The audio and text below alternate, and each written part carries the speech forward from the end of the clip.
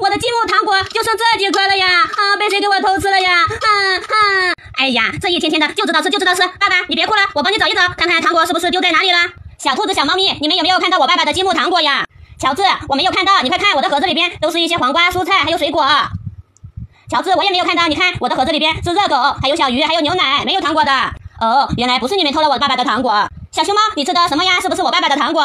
没有没有，我吃的是鸡腿肉卷，你们快看呀，可是没有糖果哟。哦，也不是小熊猫偷的糖果呀。哎，小兔子，你盒子里面放的是什么呀？哎呀，你看是胡萝卜，是胡萝卜。不对不对，盒子下边是什么呀？